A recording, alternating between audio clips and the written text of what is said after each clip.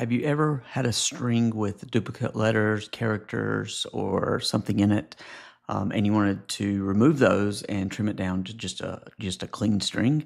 Well, Laravel makes this super easy. Let me show you. So given we have a string and it has something like maybe a path, see like user local path to desktop. So if we run that, you can see we have all these extra slashes down here.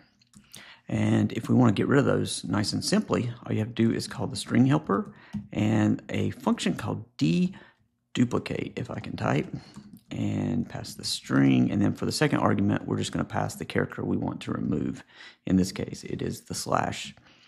Run that, and you can see down here, now all the extra slashes are gone. So it's pretty simple and pretty straightforward. You can pretty much pass any character you want as the second argument. Um, one thing to note, if you don't pass a second, a second argument, it defaults to a space. And what that would be is, as an example, let's say test, and then we add a bunch of spaces and testing. And then run it again. You can see this removes all those extra spaces between.